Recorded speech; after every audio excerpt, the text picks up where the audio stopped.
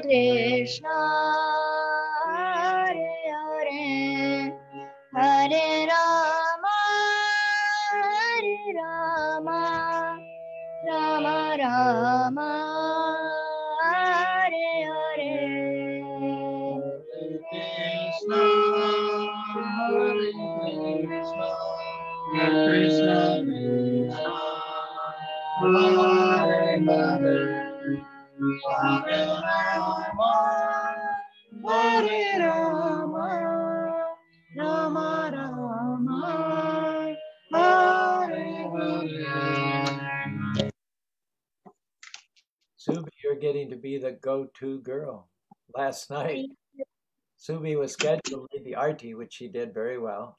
And then uh, I don't think we had anyone scheduled for the Nishringa prayers. So her sister Archie did a good job with the Nishringa prayers. And then the Gol family was supposed to lead the kirtan afterwards, but Ras Vilas passed it to guess who at the last minute. So Subi also led the kirtan last night as well. And then what happens first thing this morning? We asked Kapil, everybody is overwhelmingly uh, voting for Kapil to lead the first kirtan, but he passes and and and then goes to Subi again. So actually, that bit about Kapil was just in in joking, in good fun there. so good to have you, Subi. Um, Thank you. you're you're getting a lot more experience, which which means that uh, the sky is the limit. There's no limit to what you can do in the future. I remember there's an old picture dating back to 1991 or 92 when uh, we just bought the land for the temple. Uh, we weren't going to do the groundbreaking until 96. We weren't going to start construction until 98. But the, a great religious singer, I don't know, do any of you remember the name Hari Om Sharan? Y- Yes, Prabhuji, I have seen his picture with you and Vai Mataji at the temple. He, he is a very well-known uh, bhajan singer in India. He, he was a great personality. He was at one time. That this is uh, 30 years ago. He was he was at that time the number one religious singer in all of India, and he visited America. He did a benefit concert in Salt Lake City uh, to raise money for the temple construction. Um, but there's a picture, as Rakesh says, there's a picture of him standing with his wife Nandini and Vaibhavi and myself, younger versions of us, right on this site, the northeast corner of what was to be the future temple temple construction site. So, uh, actually, he told the story that he had a guru, and he wanted his guru was had trained him up in Krishna consciousness, and then the guru announced that he was leaving the city. He was leaving all human contact and going off into the Himalayas to achieve samadhi. And Hari Om Sharan was very attached to his guru. He wanted to go with his guru into the Himalayas. And the guru told him no.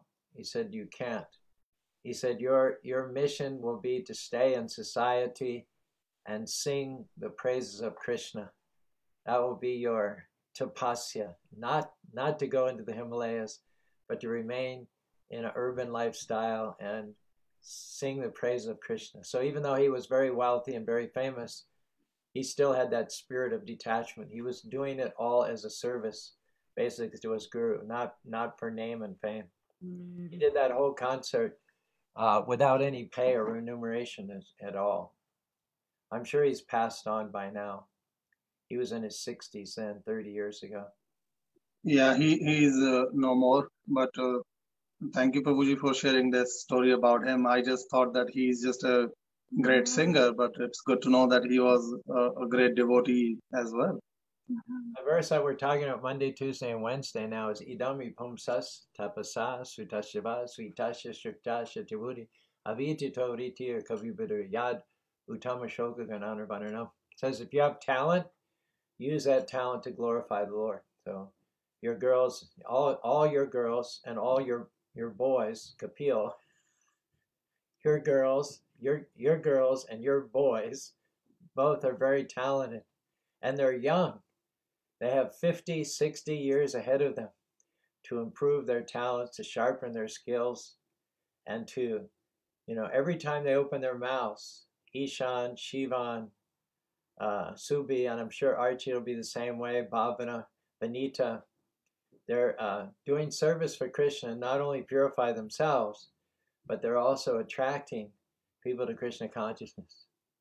In terms of what we have to share that happened in the past week, I just want to say that I think the best part of Janmashtami were the kirtans. I don't know if you agree with me, but we had a we had from seven till one. We had a six hour six hour kirtan, and I think that was just the most powerful part of Janmashtami, especially going into the last hour with uh, uh, Anusri and then uh, Ishan, and then Jai Krishna leading the arti. Man, it was so, so very powerful.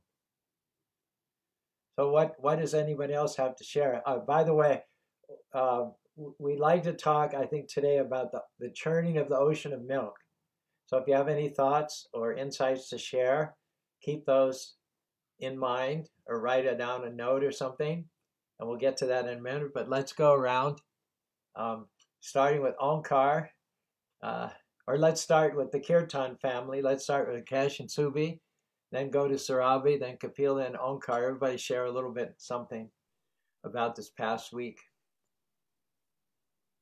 Want to share something? Yes. Um, Jairoji, nothing much happened last week, but there was an ambassador event in our school, and I got an award this week. I mean, not last week. Yeah, this What week. sort, what sort of an award was it? It was like a friendship award. So that means you're the most friendly person in your class? Yeah, I think that's what it is. That's nice. Yeah, if you have a talent, if you have an ability, then don't just um, squander it for yourself, but share it. You know, you can be a mentor, you can be a teacher. Like, for instance, Ishan is there for his brother Shivan, and you have the opportunity also to be there for your sister Archie as well. I'm sure she idolizes you and uh, will do whatever you say. So use that influence as a big sister to uh, help her come along as well and nurture her talents and abilities. Rakesh, Hare Krishna, Hare Krishna, everyone. Hare Krishna. So, Prabhuji, yeah, like as you mentioned uh, about the beautiful Janmashtami celebration, so the highlight for for me and our family were attending the two Janmashtami celebration, one at Spanish Fork Temple and then at Salt Lake City, and followed by Prabhupada Appearance Day. So, and then yesterday, uh, that Saturday program was also pretty pretty ecstatic, and the talk you gave on bringing light to life. So I think this week was full of light, spiritual light for for us, and uh, hope we we we can be in that light forever. So that was a pretty pretty good week for us. Jai. Archie, a word from Archie. I just saw her hover into view there. I made him. Hey, there she is. I don't know what that is. She made a shivlinga by her uh, playing clay. Okay. That's what she. In fact, I have a little temple. she has a whole temple. Yeah, she is. In fact, I have two. uh, yeah, she will have stories, but so she, I'll show you what she is doing right now. She was kind of doing her prayers. She has two temples uh, in her, for her place, so she is busy with her own worship right now. She just keeps her own altars, uh, altar, and and the gods. So she's busy with her own prayers. That's She- at her age. Extraordinary. Reminds me of Prabhupada when he was her age. Yeah, Prabhuji. So yeah, that was our week, Prabhuji. Thank you. Hari Hari Hari Bo. Surabi, saw, Um, saw you in uh, Ashutosh at the temple last night, and I think uh, for Janmashtami, your, one of your one or two of your children were present too, wasn't it? uh, Om was there on Janmashtami, and Anya and Om both were there yesterday. Uh, so, highlight is definitely my our Janmashtami celebration at home and at the temple. And but yesterday, the table we were sharing with the gentleman, he said he was into the IT, and we started talking. And um, I told I was working in Tomax before, which became Demandware and Salesforce but I uh, jumped to the new company. And uh, he said, I know that company. Uh, there was one Surabhi Pandey. Do you know her? Um, I, she referred me to that company before. So I said, I am that Surabhi Pandey. And he laughed and we laughed. So you're a legend in that company then, right? So yeah but it was in 2016 when he asked me to refer through some indian friends and all that and so i referred but he could not get the job just because of his um, background some documents were missing for him so he could not jo- join that but he's working in sofi which is a financial company for the students loan and everything you know. Was last night his first visit to the temple? he said that he is going to the Spanish Fork more often than coming to the Salt Lake City. That's what he told me. Oh, I know who you're talking about. Yeah, sort of stout. Yeah. Yeah. Yeah. I know Right, who you're talking about. His name is Prakash. Prakash. Okay. You, you could have asked him that I know that Surbi, asking for that uh, referral bonus that you didn't give him at that time. Ashish Mahajan used to work for Tomax too. He moved Yes. on as well to Salesforce, I believe. Yeah, he moved on. Now the uh, office is totally, building is totally shut down. So everybody is working from home and to the different teams. No team resides here in uh, Salt Lake City now. Okay. Okay. Look at Philji. pretty, pretty mixed week, uh, I would say. Uh, I am the last man standing here. but Prabhu, at the sa- and Janmashtami, uh, I couldn't agree more, Prabhu. Very transcendental celebration. And it's also great to see the new generation and their contribution, and also them getting the inspiration from others as well. So it's a great combination. And uh, Prabhu, sometimes when you are in a situation like this, you also appreciate the amount of love support and care you receive from the community from your friends so i have nothing but gratitude for Let us know if there's more we can do. Bring you meals or whatever, whatever we can do. Are oh, i you- will You're, you're, you look like you're all alone in the house there. that's the that's the silver lining pro Now, now, don't forget anything you say is on Facebook. You know, yes record. So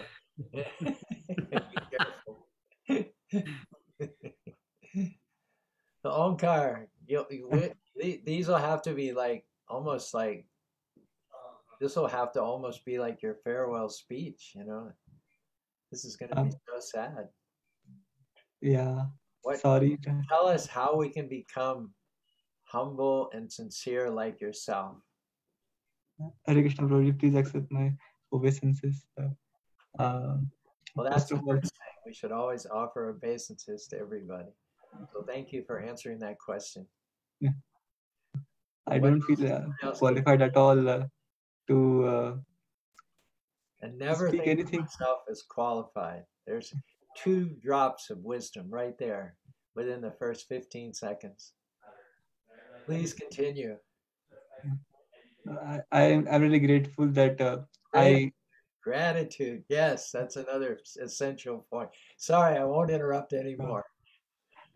no, I really feel don't feel uh, qualified to be in this assembly, but uh, by the God's grace, Krishna grace, I got to be a part of it. I feel very grateful, and uh, uh, I just want to share that uh, last week uh, I got to know that uh, my degree might be finishing soon, and I might to leave to India to continue my studies or to look for further opportunities. So I probably will be uh, moving there uh, soon, probably in one week or so. So it also uh, very suddenly I got to know it, but uh, it took me some uh, time to uh, digest it that I will be going out, and also I got a little anxious how to share it with others because from yesterday I started sharing with all the and, and whoever I shared with, they all were seeing a little sad. So I was feeling very bad to share it all with others. But uh, I feel it would be very important for me to share. Otherwise, if I would I would be gone, then it would be more more feel bad to them that Omkar has gone without telling us. So I feel it is my uh, uh, part of duty kind of to share. But uh, it was uh, really a great uh, time I had to spend. I, I got to spend here.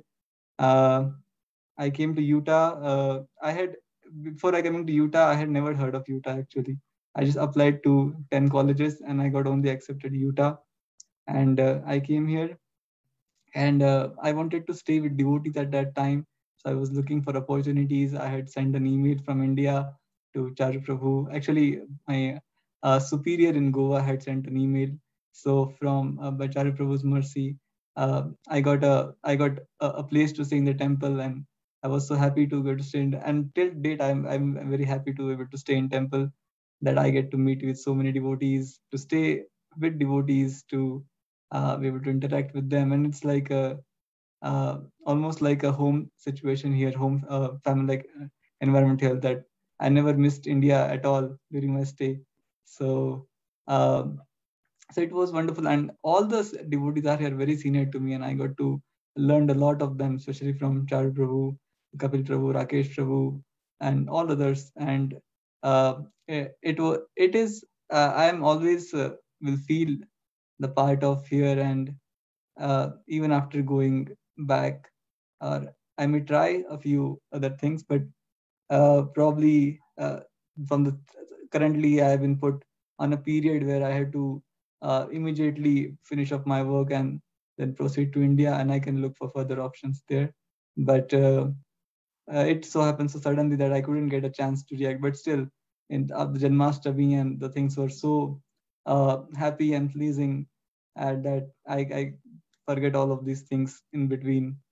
But uh, that's what I my concern was that if I'm had to leave so soon, how how can I able to share with others the gratitude that I have with all of them, the respect that I have with all of you. So today I feel it's the chance, it's the, my opportunity to not all of us are here, but whoever are here, I will I really uh, want to share my gratitude and respect with all of you that uh, the time I spent with you was a really a loving time in my uh, in my life of two years here, and uh, I have a lot of respect for all of you. I have a lot of love for all of you, and uh, even I, if I go back, I will be remembering you and keep praying for you. And while going, I don't want to hurt anybody. so I beg forgiveness if there was any mistake from my side in any time in last two years. Uh, I want to beg forgiveness and uh, uh, give me a blessing so I can progress in my spiritual life and serve my spiritual master even after going to India. thank you very much. Wow, and if you miss anybody, we can always uh, tell them that you left a message here on Facebook so they can go and refer to this. How many years have you been in America now studying at University of Utah? Uh, two years, a uh, little more than two years. Um, you know, Govinda uh, came back from Washington, D.C. He did the Bhumi Puj for a new temple they're going to build there. And he was talking about the fundraising they did. they got $7 million worth of pledges. One man gave a check for a million dollars alone. They raised another $320,000 worth of cash. So there's obviously a lot of enthusiasm and support for building a new $10 million temple in Washington, D.C. so we got to talking about Utah, and we were thinking. Uh, I said we, uh, you know, uh, we don't have any sectarianism. We don't have any division between our members. Everybody's working together like one big family. Um, uh, we're generally respected, I think, by the community in general, so that the ground is fertile. If there were ever like a really big one million dollar donor or something like that, um, we would be we would come up on the radar as a worthy place to give. And then I just said, but I don't even know what we do with you know if someone gave like we're just fantasizing, you know, just talking. I don't even know what, but devotees should think big because Krishna is limitless. So we were just thinking, well and I was thinking, well, you know, we've, we've got two temples, we've got a radio station, they're paid for. I mean, I said, what would we do if someone gave us a million dollars? Or or what cause is left to raise money for? And Govinda looked at me like I was an idiot, which is true. And he said, You don't know? You don't know the next step in Utah development? He said, Well, I'll tell you. He said, we need to get a place where university students can live, a Krishna house like they have in University of Florida in Gainesville. They pay um, half the rent in exchange for attending Mangalarti and doing services in the temple and attending classes. And as soon as he said that, I realized, yes, we need such a place. And when we get it, we'll call it the Onkar Joshi Krishna House because we got we got the idea from you. I mean, we you, you're being living in the temple for two years showed us in a way that theory could never have done, that words could never have done, how much we need to interface with the University of Utah students. We need to overlap. We need to give them a Krishna house in which they can pursue their mundane studies, but also uh, practice their Krishna consciousness. Uh, you know, we need to take care of body and soul, but we can't neglect. I mean, body and soul is a, a just a, a, phrase that which basically refers to earning a living, having food and roof. But one needs to also cultivate self-realization at the same time. So academic knowledge is just a, it's it's not going to stand one in good stead in the long term. So that that's our obligation is to provide a, a, a means where university students can uh, live in the temple own building and pay less rent, which will help them physically, but spiritually they can also uh, contract to engage in devotional service. So um, yeah, we're, we're going to be on the lookout. It took me 10 years to find the property in Salt Lake City. Um, I don't know how long it'll take us to find, but that that's our next our next landmark, our next milestone, and it's all thanks to you and your good example and every all the good things that you've done as a University of Utah student living in the temple. It's opened up a world of possibilities for us. So that's your legacy here. I, I would like to give all credit to my Shiksha Guru in India, by whose uh, support and guidance I could stay here. Uh, he was there to guide me at every step uh, to how to manage studies, how to manage sadhana, and uh, everything to balance. So I give all credit to him because of his great guidance and blessings and support, and of all the devotees here, and of course Charu Prabhu's, that I could uh, uh, carry this out here. Who is your Siksha Guru? Uh, my Shiksha Guru is uh, His Grace Kartikeya Prabhu. He's in Bangalore. Kartikeya. So, Onkar, a little bit about the churning of the ocean of milk. Uh, do you do you have the Bhagavatam in front of you? Yes. It's there's several verses, starting with first canto, third chapter, 16th verse. It's just a very short purport. Just add any additional comments that you might have. Okay. So, Canto 1, chapter. Uh, shall I read all the first verse, verse 16, with the translation purport? Yeah. Okay. So, it's Canto 1, chapter 3, text 16. Uh, the translation is the 11th incarnation of the Lord took the form of a tortoise whose shell served as a pivot for the Mandarachala hill, which was being used as a churning rod by the theist and atheist of the universe. Purport Once both the atheist and the theist were engaged in producing nectar from the sea, so that all of them could become deathless by drinking it. At that time, Mandarachala hill was used as churning rod, and the shell of the Lord tortoise, the incarnation of Godhead, became the resting place pivot of the hill in the seawater. Okay, that sounds pretty exotic. Can you bring that home to some of our listeners? Yeah. So I'll start with the pretty uh, basic background. So this was a, a time of very ancient era, uh, and this was uh, this was the story of demons and devotee, demons and demigods.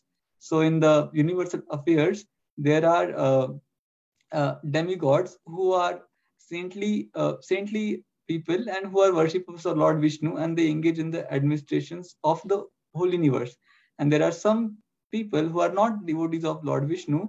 They are called demons who engage in, uh, uh, in sinful activities and who are into many other things. So there is always fight between these two people, and there are humans in between, like us. We are here. So there are always fight between demigods and demons. So this is a time when uh, there was one fight. There was a chance. There was an event of fight in between uh, demigods and demons. And demons, they became at one time very powerful due to blessings of their spiritual master Shukracharya, and due to and all all the brahmanas. And their king was uh, of the name Bali Maharaj, and they became so powerful that they decided to attack the the heavenly planets and the kingdom of Lord Indra. And they attacked Indra's kingdom and due to their strong power uh, they they could defeat indra. And they defeated indra and uh, they they gained uh, kingdom to all over the universe. So now uh, the, now they were the the original creators of the universe. So all the demigods were in uh, afraid and they didn't have anything that any position so they requested uh, lord brahma to, for help. So Lord Brahma requested him uh, further to Lord Vishnu, and Lord Vishnu then guided them. They told them that you now uh, call the all the demons for a churning of ocean, churning of milk ocean. You churn that milk ocean and you take nectar from him. And you take that nectar, and when you drink it, you will become immortal. And once you become immortal, you can attack the demons, and then uh, you you can take back your your own kingdom once you become immortal. But to do that, you need the help of the demons because without their help, you will not be able to do it. So they call, they called Bali Maharaj and they requested for them. And in the what's in, that in called? The, what's that called? When two enemies agree to set aside their hostilities in order to achieve a common cause. What's the English word for that? Do you know it? Uh, Compromise.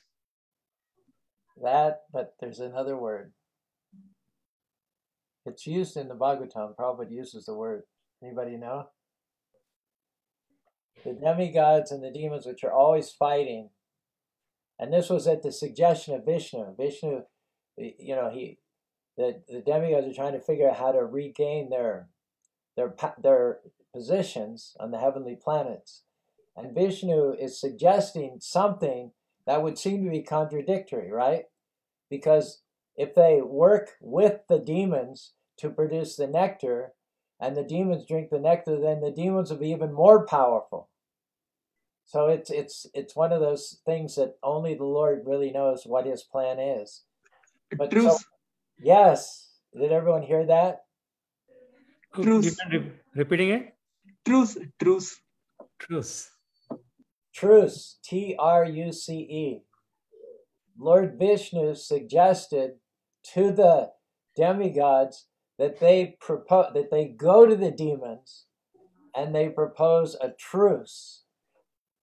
Go ahead, Omkar. Just wanted to get that word out there.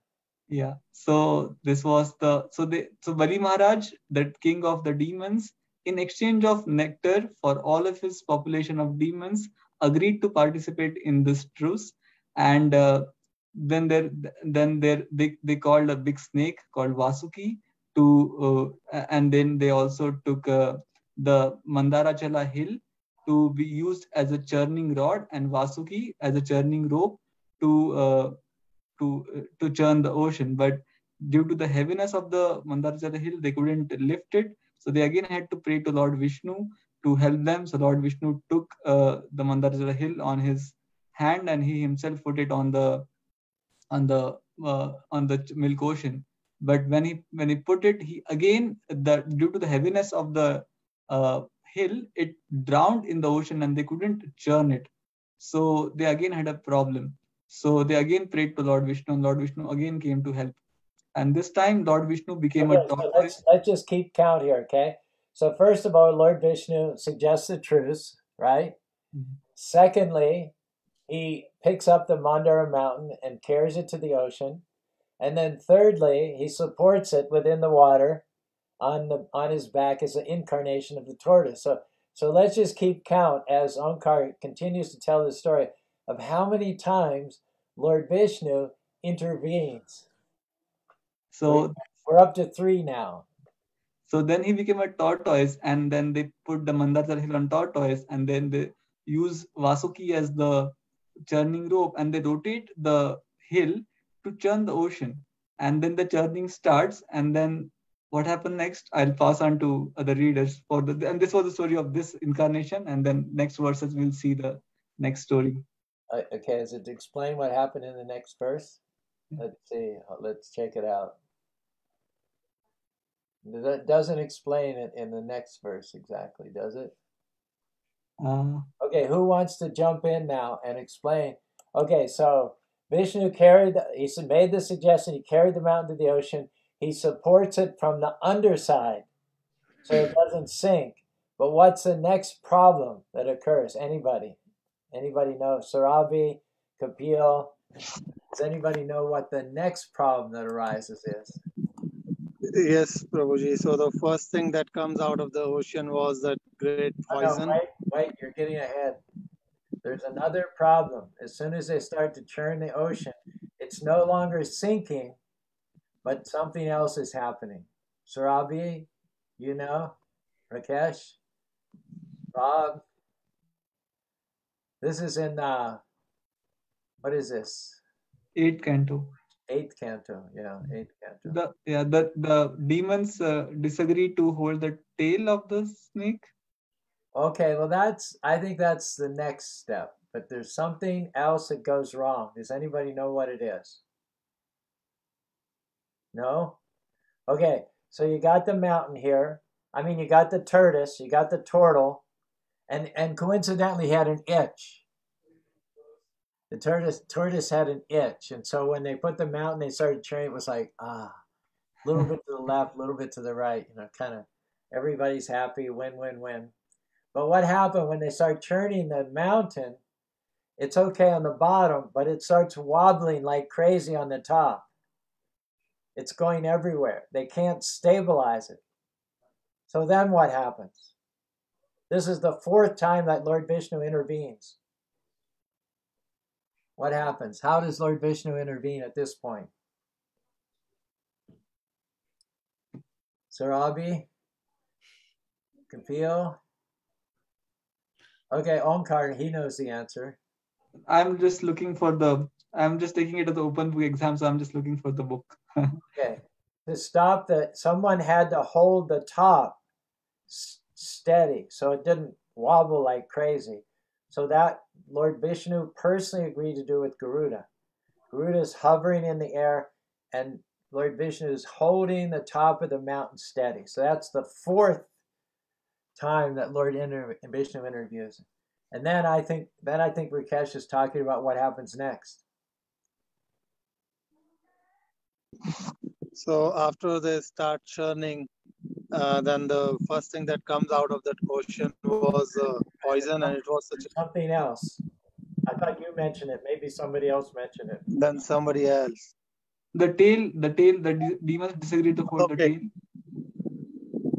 You remember that, Rakesh? You remember Yes, yes, Prabhuji. So this snake Vasuki. So Lord Vishnu, he knew that when they will start churning, he's gonna spit poison. Vasuki is gonna spit poison. So he did not want the demigods to be on the side of the. Uh, they want uh, Vishnu wanted the demons to hold it from the head. So he made that arrangement and and tried to uh, put it in that way that demons they uh, said, "Oh no, we want to uh, give this tail to the demigods and we want to hold the Vasuki snake from the mouth side."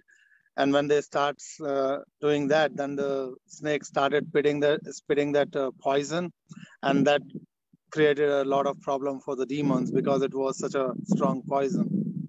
So. At first, they tried to give the demons a, a nice, easy task that they would easily accept, and they thought they thought that they'll just give them the tail because there's no smoke, there's no fire from the mouth. They said, "Why don't you guys take the tail?" And they were trying to be gracious about it, you know, to be the bigger person. But of course, Lord Vishnu knows the psychology of the demon, so he knew he knew what would happen. So they it was it was beautiful because the demigods and Lord Vishnu made a generous offer. They did not compromise the high ground. They did not give up the high ground. They made the demons a generous offer. Why don't you guys take the tail? It'll be trouble free. But they also knew that because of the demons' arrogance and pride, they would never agree to take the tail. So they, well, we're not going to take the tail. We should be the head, not the tail. We're we're the greatest warriors. We're the greatest diplomats. We're the richest. We're the best looking. So we'll take the head. And of course, Lord Vishnu knew all along that's what they do, because when they took the head, then Vasuki is spitting fire and smoke and all. So they're just completely covered with all this. Their eyes are burning. They're choking. You know, it's just like now in Utah with the Oregon fires. You know, that was what happened to the demons. Okay, and then what happened? So now this count is to five, Prabhuji. So far, the count of Vishnu intervening is five. Yeah, that's five.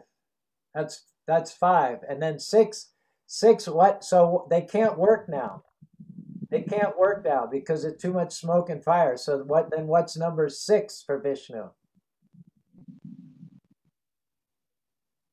I I don't know, Prabhuji. Anybody know? what the sixth thing Vishnu does now to make it happen?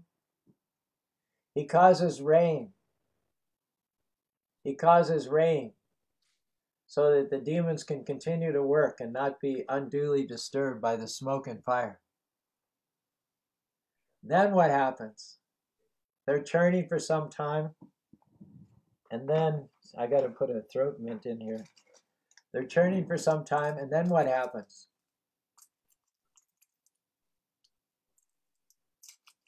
I guess then Rakesh mentioned the poison comes out first. Not, not yet. Not yet. Not yet. You know, yeah, we live we live in a in a pretty athletic society, especially America. America took like 130 gold uh, medals at the Olympics, and the next country, China, only took 88. So America is very athletic, and, and there's always new uh, fields of athleticism uh, uh, developing. I was driving to pick up some restaurant supplies in the industrial area of Salt Lake City around, uh, oh, I think it was uh, 17th South and uh, 700 West on my way to the temple yesterday. And there were two skate parks. There were two different skate parks, and the kids were out with their skateboards. And one, actually, one of them was for bicycle, and one of them for skateboard. And these are now Olympic events, aren't they?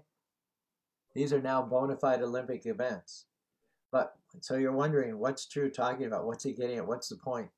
So uh, churning, churning is a very uh, demanding physical activity. You know, we just go to the grocery store, we buy a gallon of milk. But when you had your own cows, and then you would make butter and yogurt and cheese, you spend a lot of your time churning. And, and that takes a lot of endurance. It takes a lot of fitness to churn butter and milk into butter. So what happened demons and demigods were churning, churning, churning, churning, churning, churning, churning, and then what happened? Nothing comes up. Nothing came up, and what happened to them? Exhausted, tired. tired. they got tired. They got exhausted. They couldn't go on. They were going to give up. So what happened?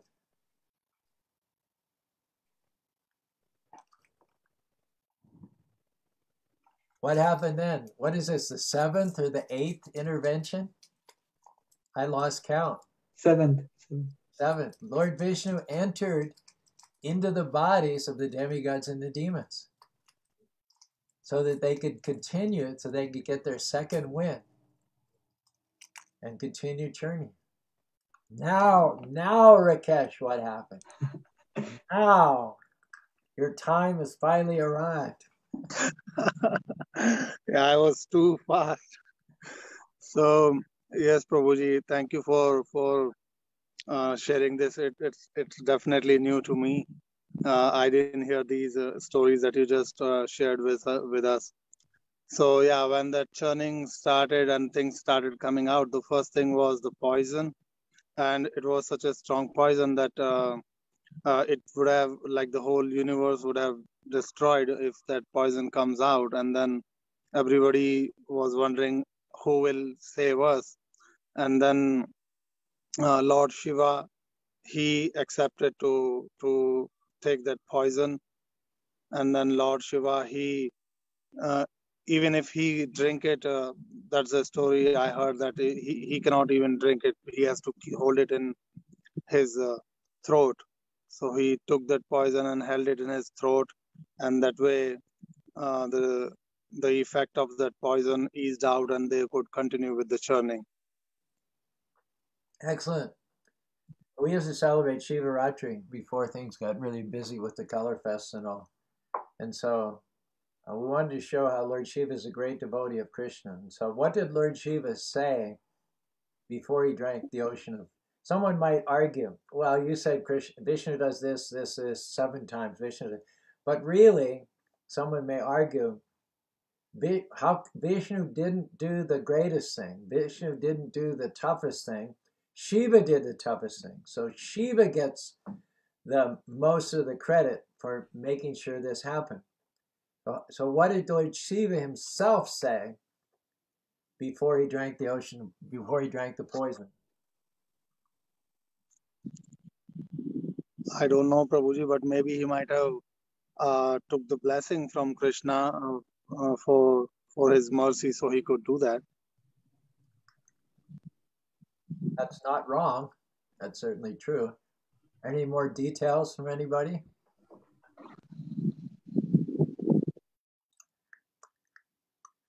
Okay, he took blessings, obviously, but what he said was, he said, I'm going to do this because Lord Vishnu is always happy when you do welfare work for others. Lord Vishnu, when you when you help out your brothers in Sarva Yonishu Kaunteya Mortiya Tajma Brahma, Aham Bija Pradapita. Krishna is the father of all living beings. He doesn't like it when any of his sons are suffering. So the best way to Krishna's heart is to help out another person to be free from suffering and distress. The Father likes it better if you help his Son than if you directly help the Father, isn't it? If you want to get to the heart of the Father, better than trying to do something directly for the Father is to do something for his Son. That will really capture the heart of the Father. So Shiva wants to drink the poison as his devotional service, as his bhakti to Krishna. So even that, you know, and everybody says only Shiva is powerful enough. Only Shiva is powerful enough to drink the ocean. Nobody, you know, how come Vishnu didn't do it? They say only Shiva is powerful enough. But Shiva himself said, I'm going to do this as devotional service to Krishna. So, however powerful Shiva is, he's letting us know by his prayer that he is doing this as a service to his Lord, and the Lord is always more powerful than the servant. So that's the eighth time that Vishnu could be said to intervene. All right, so what's the ninth one? Is it mentioned in this verse here?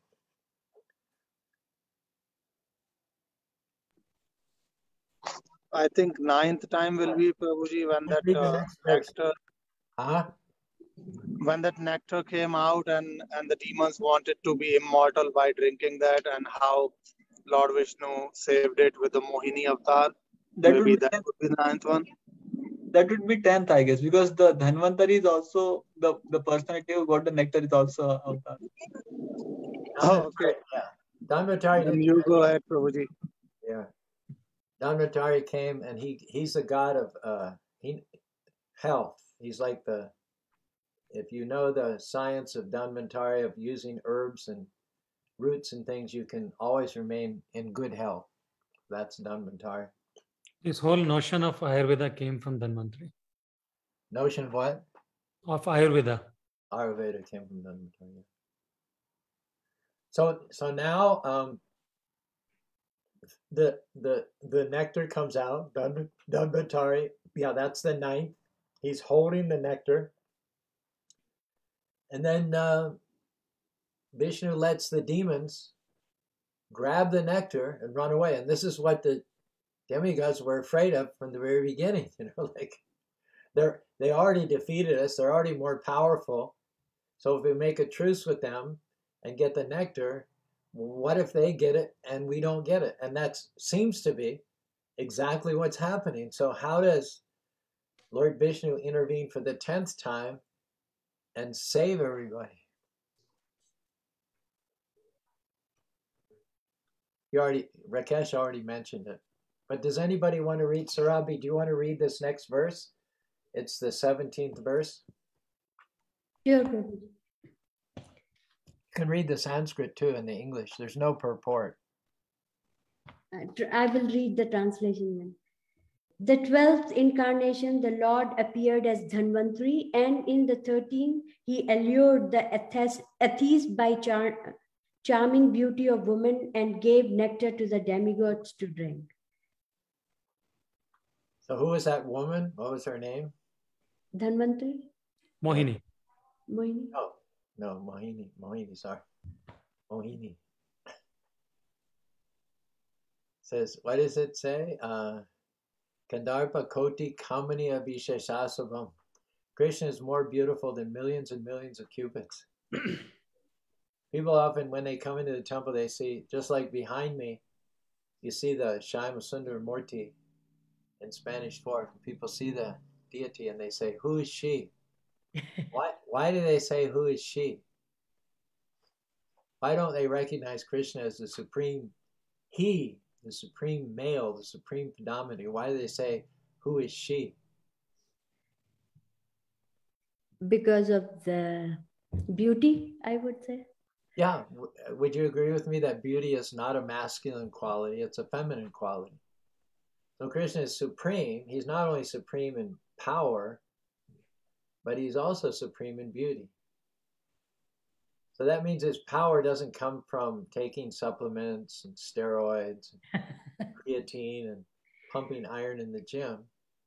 He's just naturally the most powerful. And because he doesn't work at he doesn't have to work at it and he doesn't have to train his body, he appears Uh, effeminate, isn't it? He appears as if he were weak, in fact. But- But because his strength comes from a spiritual source, he doesn't have to he doesn't have to look like Arnold Schwarzenegger, you know, with a lantern jaw and bulging muscles and veins popping out and a washboard stomach. In fact, that's actually grotesque. I don't really find anything attractive about that myself. So Krishna is soft. He's soft like the flower, but when when needs be, he's hard like the thunderbolt.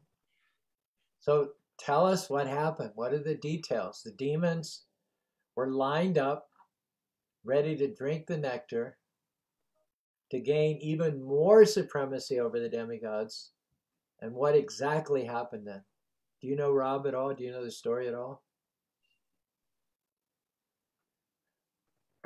Rob got a set of Bhagavatams at the temple last night. So, Rob, we're going to expect you to know these stories moving forward. Not right away. We'll give you some grace period. We'll give you some time.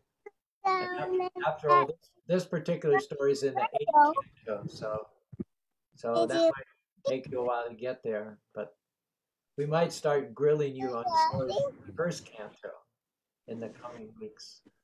Fair enough, Prabhuji. I uh, I have not gotten a chance to to get into them just yet, but soon, very soon. All right. We know. Hey, Kale. Hey, Cal. Hare Krishna. Hare Krishna, Cal. Say it again. Hare Krishna. Hare Krishna. Cool. As I drove out of the parking lot last night from the Salt Lake City Temple to come home, it was about 9:30 at night. The last word I heard was my window was down. I heard Kel, Hare Krishna, Hare Krishna, and I think he's also dancing out there in the parking lot as well. We've got a, a devotee in training there. He helps me be more devoted just by him being around. So he's he's picking it up a lot quicker than I could even hope for.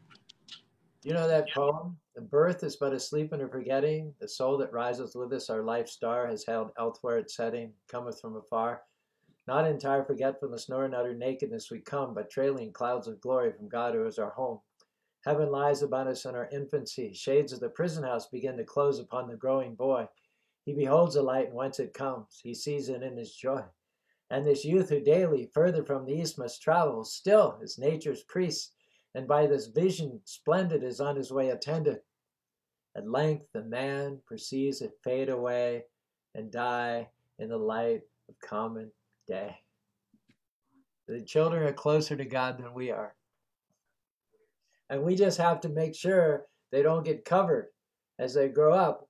We have to make sure they don't get covered, like we talked about last night. We cover our light with trivialities, with rubble, with petty things. We cover the light, which is ourselves. So the light shines brightly in Kel. He dances, he chants. So our duty as parents and teachers and leaders is to make sure that not only is that light not covered, but it is fueled with more and more Krishna Katha and Prasadam. But we're still waiting for the last little details before we wind up our story here this morning. Omkar, Kapil, I I know the story, but maybe I'll I would like to hear from somebody else because I'm sure they will share additional details. So I want to hear.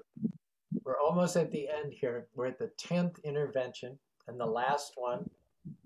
But what happened? The, de- the demons got the nectar. They're lined up to drink it. And it looks like that's that's all she wrote. Looks like the demigods are stick a fork in them, they're done. Well, what happens? In spite of everything they've done, in spite of all that Vishnu's done, it looks like the demigods are going to miss out on that nectar. So, how does Lord Vishnu again save the situation for the 10th consecutive time? So Lord appears uh, in the form of Mohini and uh, like all the demigods, uh, sorry, not them, the demons, they got attracted to the beauty of the Lord and they, I think, started fighting to impress uh, Mohini. And uh, in between that fight and, and the chaos, Lord took that nectar and, and bring it back to the demigods. Good. That's that's pretty much what happened. Now there was one demon who drank a little bit of the nectar. He got first in line, drank a little bit of the nectar, but then before it got down to his, or maybe actually there's two different versions of the story. One one drank the nectar. Eh, Can anyone help out with details here? Yeah, like what? Oh, go ahead and no, no, go no, ahead. No, no, you go ahead. I I would I'm also not very sure, but I guess it was Rahu. Uh, yeah. the, the, demons who are the enemies of uh, sun and moon, and I believe one they they got few. Uh, they started drinking it, but when the nectar was about in their throats, Lord Vishnu sent his chakra. I guess it is eleventh uh, eleventh intervention, and then he threw out his. Uh, he cut his neck, so the the bottom part of his body fell dead, but the the top part still remained alive. So he, Lord Vishnu, intentionally kept it alive just to show the, show the effect of nectar. And I believe on the full moon days or no moon days, that head goes on to attack sun and moon in enmity, and that's the eclipse that we see on Earth. Excellent. Now, one version has that some of the nectar reached reached the body, and after the head was separated from the body, that lower part is Ketu. That's one version that the lower part became Ketu and the upper part became Rahu. But the one that uh, called them out, the one, the one that said, hey, those, guys are drinking the nectar, that was the sun. That was Surya.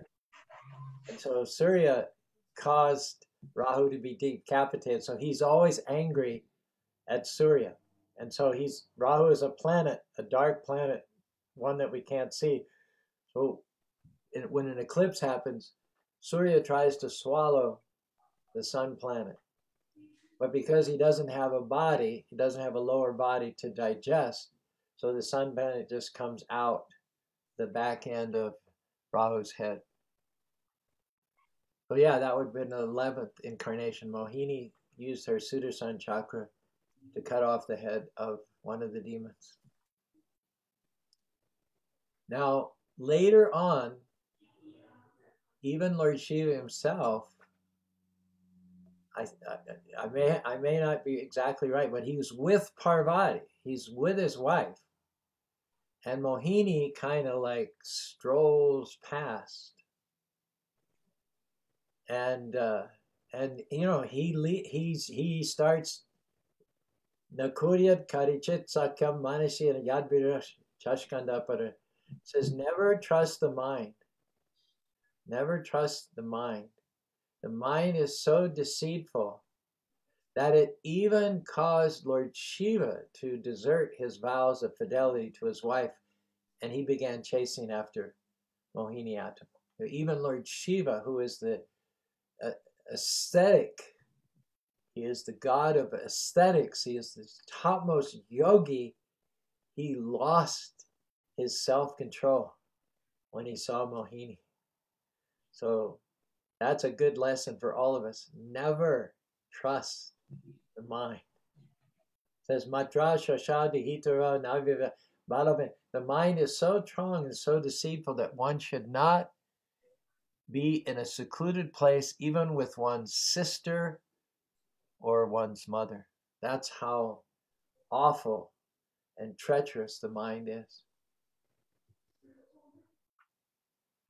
All right. Any anything else we can learn, or any other details from this verse?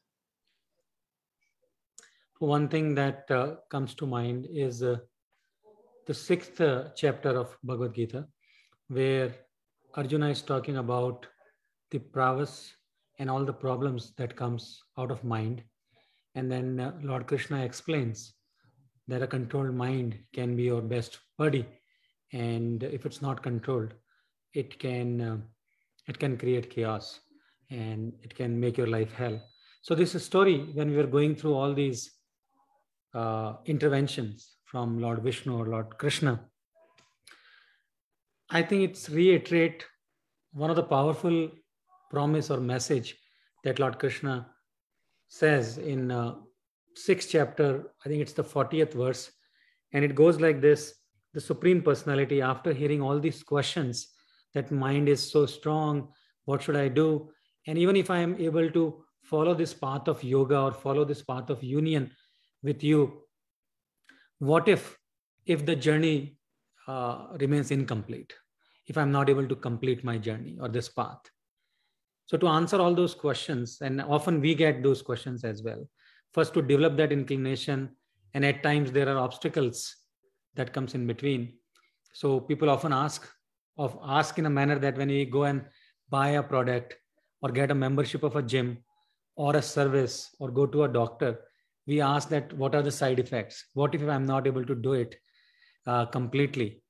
To which Lord Krishna answers that the Supreme Personality of Godhead said, O son of Pritha, a transcendentalist engaged in auspicious activities doesn't meet with destruction either in this world or in the spiritual world. Now, here comes the important message that goes well with our discussion. He says that one who does good, my friend, is never overcome by evil. And I think when you are giving an example of Lord Shiva and uh, him drinking the poison as an offering or service to Lord uh, uh, Vishnu is a great example of this that once you do that, it will never overcome by any evil. I was writing all those 10 or 11 intervention and after every intervention, those six prominent qualities that we see in Lord Vishnu or Lord Krishna, the opulence, the knowledge, the fame, uh, the opulence, knowledge, fame, power, and then the this ability to renounce everything. So the moment you said uh, the truce peace or the ceasefire peace, uh, him bringing him to an agreement, because he knew he's omnipresent, uh, omniscient, he knows that what's going to come our way. Uh, so I think that was the message for me when I saw that first intervention. When we talked about uh, Mandarpa, no matter how endurant we are or how powerful we are, we need that support. That sometimes that support comes as a help from a devotee or uh, God's him, his own intervention. And he's ready to play that role of Mandarpa uh, in our life. Then the Kurma uh, intervention, that he became the base for it. That again says the same thing that he's all powerful. He'll take care of that. He'll be there to support you. Then the tail and head, it's again the same thing that he, knows. And he's the master negotiator. Because often when you are in a negoci- negotiating situation, you try to get the head. But sometimes it's giving away that can also help you when you know the other person's uh, uh, and he knows he sits in our heart he knows that's what's going on there. So i think that again says the same thing. Rain Prabhu, i wrote in front of rain is uh, it's the kind of blessing that he's there to shower that mercy on all of us to take care of that turbulent weather that started happening as soon as we started churning uh, this. Uh, then again he goes into the bodies of demigod when the endurance was uh, going away and he shows the prowess and the power. The poison uh, example, I, as I read from the sixth chapter, is a great example of service and devotion. And I always remember that it's not the best service available. It's basically the service that you are, uh, like people wanted you to do. You follow that as a service. And I think that is an amazing example. Drinking the poison is, is the pinnacle of when you, uh, of the selfness, selflessness. Uh, and the last is beauty. Mohini is a great example of beauty. The, every the, everything comes from him, which is all beautiful and opulent. So that is my thing. But I think the core message here is he's doing it for demigods and uh, our demons or the human beings for a message. The renunciation that makes him Lord, that makes him supreme. He never tasted a bit of it because he is beyond the nectar. The nectar itself comes from him. So the renunciation itself makes him Lord Krishna. And I think that's the reason we all are attracted to him. And you know, he could have just he could have just empowered the demigods directly and and they would have just beaten the demons. But he just he just likes to have fun. He he likes to work from behind the scenes. He likes to em- empower his incarnations, his expansions. He likes to glorify his devotees. And so we have this whole amazing story. He could have just done the whole thing practically himself, but he chose 11 different angles at which to come at this from. And in the course of that, he's, he's glorifying his expansions, he's glorifying his devotees. He knows how to do such a thing, things in such a way that we, we have fun and we have lots and lots of subject matter to discuss and share and relish even thousands of years later.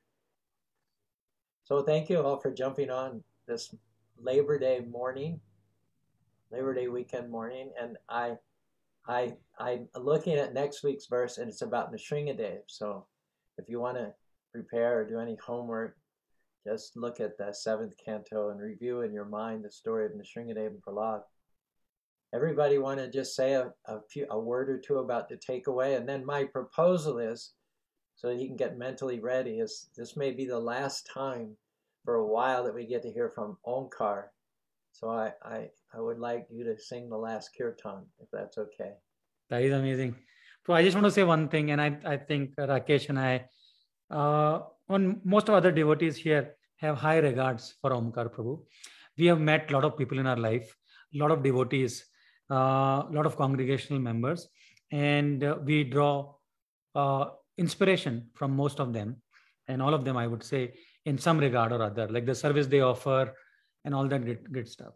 So there is a very big aspect of our philosophy, right? And that's what we are trying to do today: discuss, cherish, relish uh, the philosophical uh, aspects of of uh, of our mission. I would say. So there are a lot of people. They are so eloquent that they can come and share this nectar in a manner that it inspires you but that inspiration may last for an evening, a month or so. And then there is a set of devotees that they live that philosophy. And Omkar, I put you in that category. Uh, there are only few of them. Uh, there are hundreds of them uh, who can share the philosophy and inspire us and educate us. But uh, what we aspire to be an Omkar who lives the philosophy. And with whole heart, I say that, and I'm going to miss you. And I'm sure that Rakesh and all others uh, here on this call and otherwise are going to miss you. And what a big reward. Like it's, it's incredible. And often we use this quality and quantity thing. We always say this very loosely that it's always about quality and not so much about quantity. This is the first time I'm using that notion in a context that be two months or two years or 20 years, sometimes the two year can give you such a big inspiration that you were trying to gain in from your last 20 years and you you served that motivation just by living, living that philosophy. So so that is my uh, gratitude towards you and i'm very very very very lucky and uh, thankful that you came here and inspired all of us. You know our goal is to be a servant but mostly we through our past conditioning and our own arrogance we go through life really with the mood of a master but when we see devotees and we come to the temple and we recollect the teachings and all, then we say, oh yeah, I'm supposed to do this instead of this. I'm supposed to serve instead of dominate. But you don't have any of those adjustments when you see Omkar. Here is a servant. He's, he's a servant through and through, plain and simple. He, he's not walking around in the mood of a master and then having to remind himself that he's a servant like many of the others. He is a servant. He's always projecting the mood of service. He's always offering service. He's always bowing down. He's always running here and there for on your behalf. And I think one of the things that Kapil so eloquently said is that Omkar is what we aspire to be. He is what we aspire to become. So thank you for that example. I have no doubt that wherever you go in this life, you'll have the same effect on those around you.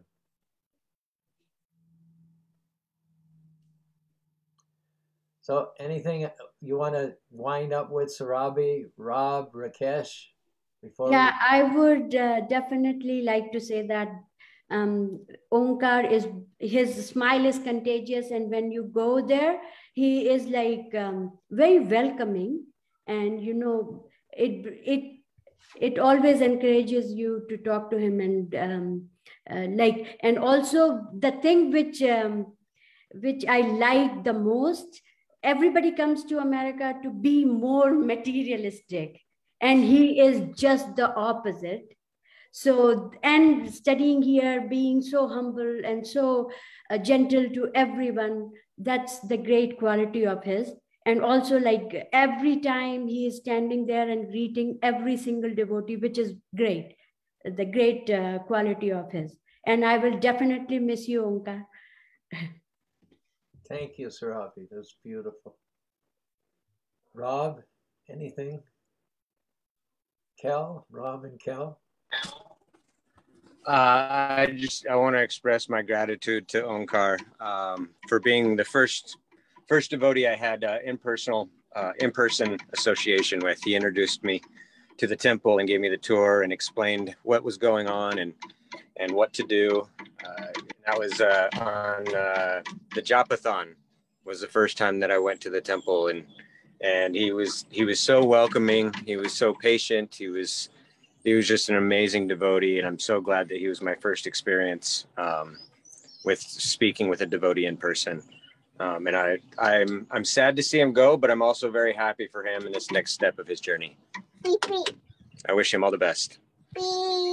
Thank you, everybody. Thank you, Omkar. And perhaps you could uh, do one last act of grace by chanting the Maha Mantra to finish our Zoom satsang. Hare Krishna Prabhuji, sorry, I'm Oh, sorry, Rakesh. I was waiting for my my turn. Sorry. So when I don't have it on gallery view, sometimes it's easy to get someone slip on the cracks. no, that's totally fine, Prabhuji. I would have not uh, said it, but I don't want to miss the chance to show my gratitude for Omkar Prabhu. But before I get there, today's takeaway from the class is the way how Kapil Bhaiya summarized it so beautifully. So that's the takeaway for me that how we should listen to a lecture, how we should be taking notes, and how we should summarize.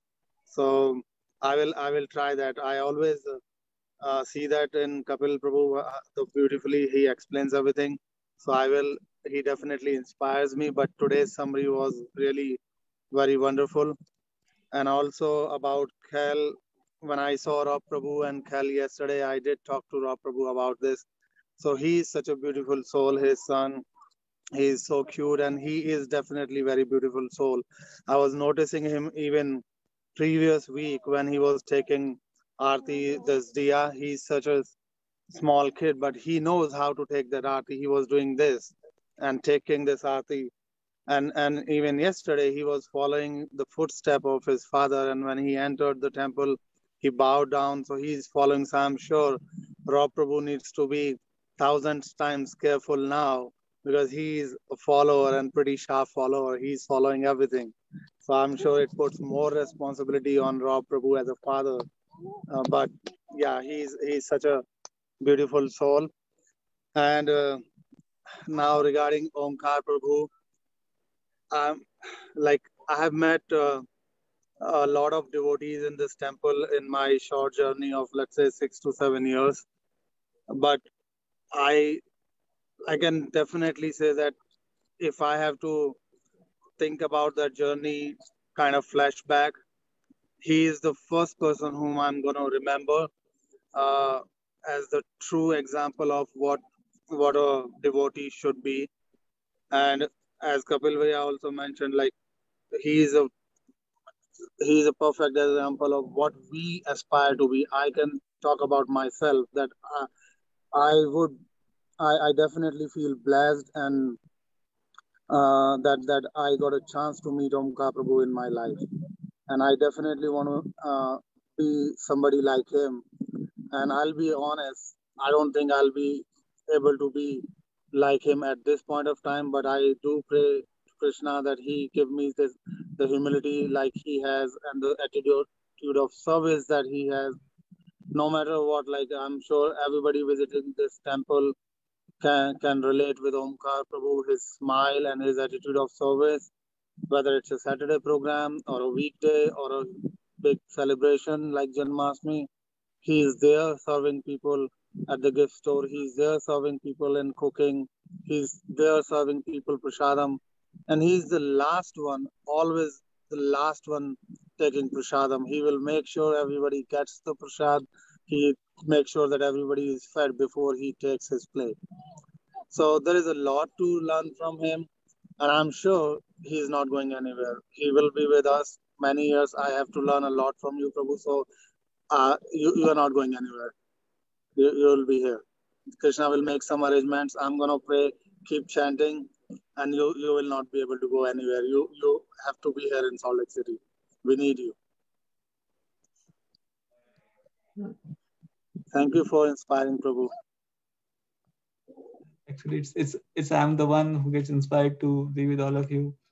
I always uh, feel very great to be with all of you. That's why I I came here and I try to get your association here. And uh, I feel uh, yeah, not so happy to go, but somehow uh, let's see as Rakesh Prabhu says what could happen. But uh, but I would really whatever you, all of you said is nothing belongs to me. Everything belongs to uh, Mashiksha Guru, spiritual master, and uh, Lord Krishna. As there is a there is a song in Hindi. Uh, it says "Karte hu tum kanhaiya, mera naam ho raha hai." That roughly translates as uh, "Oh Lord Krishna, you are doing all the things, but somehow you are putting me in front so that my name is getting ahead." So I believe that's that's my feeling that everything is done by Krishna Himself, bringing me here and making me instrument, and I am I'm just a, a helpless instrument in the hands of the Lord. So uh, before starting my kirtan, I apologize for any mistake from my side. Uh, I'll do that one more time before I leave, but still, as uh, uh so, I'll start the kirtan. नाम ॐ विष्णुपदाय कृष्णपृष्ठाय भूतले। श्रीमते भक्तिवेदा तस्वामी इति नामिने नमो ॐ विष्णुपदाय। कृष्णपृष्ठाय भूतले श्रीमते भक्तिवेदा तस्वामी इति नामिने।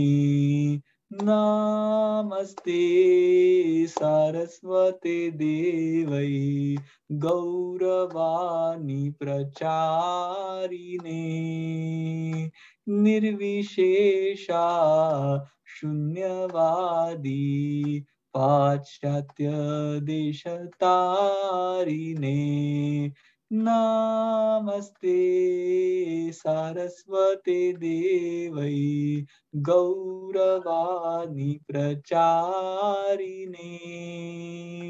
निर्विशेषा शून्यवादी पाश्चात्य देशतारिणे जय श्री कृष्णा चैतन्या प्रभु नित्यानंदा श्री अद्वैता गदाधार।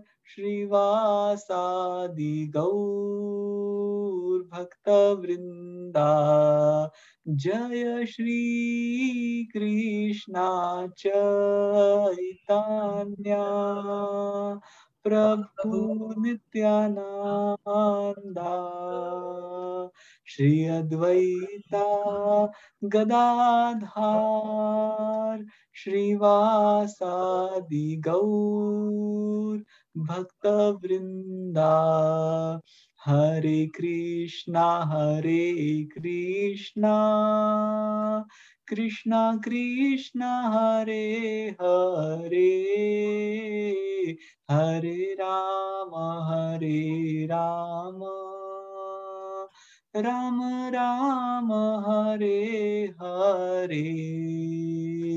हरे कृष्णा हरे कृष्णा कृष्णा कृष्णा, हरे हरे हरे राम हरे राम राम राम, हरे हरे। हरे कृष्णा हरे कृष्णा कृष्णा कृष्णा, हरे हरे हरे राम हरे राम राम राम, हरे हरे हरे कृष्णा हरे कृष्णा कृष्णा कृष्णा, हरे हरे। हरे राम हरे राम राम राम, हरे हरे।